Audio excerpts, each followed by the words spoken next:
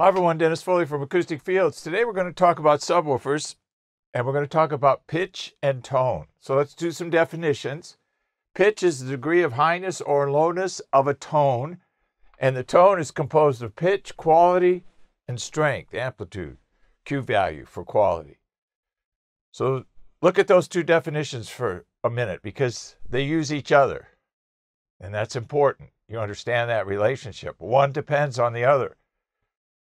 Tone depends on pitch, and pitch depends on tone.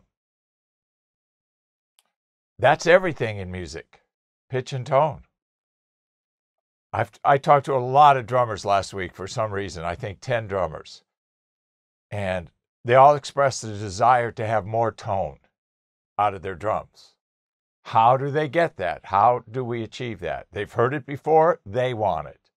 And we're helping them through that process. Low frequency energy, 20 to 100 hertz, has pitch and tone. All energy does, musical. High resolution room is the goal. That's why we go for this, do all this craziness to the walls, floor, and ceiling.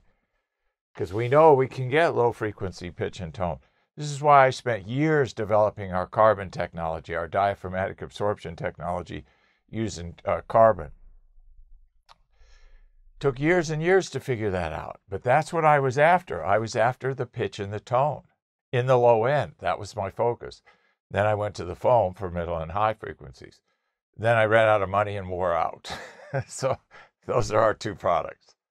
That's kind of how it happened. But anyway, so what do we want? We want the CAW system because that's a tactic that we'll use to get our goal. That's what we want to do. We want to get our goal, which is pitch and tone. We're going to use the CAW. And you can read about it on our website. It's the last project on the project page. It always is the last project. I don't remember the number, but it's the last project. Watch that video. That's a process where we actually tune the room every 14 and a half inches. What is 14 and a half inches? It's the distance between a wood frame stud. Studs are 16 on center, which leaves the 14 and a half about in the middle. 14 and a quarter, it varies. So watch that video and you see how we install our carbon technology between the studs. So we're going after room modes every 14 and a half inches. Pressure modes, 20 to 100 hertz, every 14 and a half inches in a room. You can't get any better you can't go after it any greater because you're out of space. You, you're using the floor, ceiling, and the four walls. There's no other space to use. Boy, when you use it all, you really get pitch and tone. But watch that video. So this is my beef with placing subs in the corners of the room. You excite the room modes. You excite room gain. All modes end in the corners, right? So you put more pressure in the corners, you excite all those modes. Why do we want more distortion? Isn't the goal less distortion? You know, it's that old quantity over quality. Well, let's get more energy and forget about pitch and tone. More is not better, okay?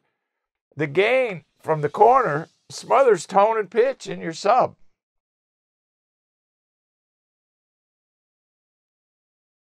It's a quantity over quality argument. I'll repeat it once more. More is not better. Keep all your energy sources away from the wall. Don't smother them in room gain. Jeez, that's not our objective here. Our objective is resolution. We can't achieve resolution as a strategy if you keep tripping over yourself using false tactics. Can't do it. All right? You're running to stand still.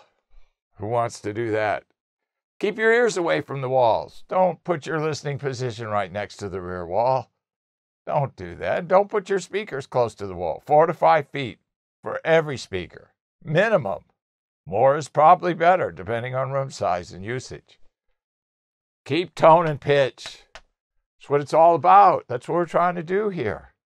We want to hear everything. Fortunately, to hear everything, we got to get a lot of things out of the way. And one of the things in room acoustics that I see all the time is ignorance. We got to get that out of the way first.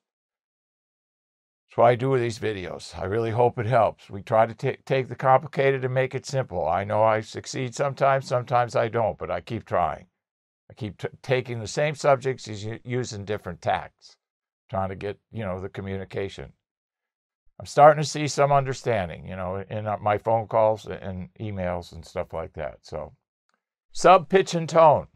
Keep it in mind. Keep those subs out of the corners. Thank you.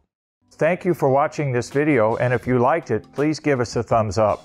We also have a newsletter that you can subscribe to, so please do that because we offer special price discounts to only those on our newsletter. And then don't forget about our forum. We have started a forum on our own website where people ask questions, and I usually get a chance every couple days to look at it. There's an interchange between people on the forum, and we'll give you real answers uh, on a regular basis, so that'll help you. Thank you.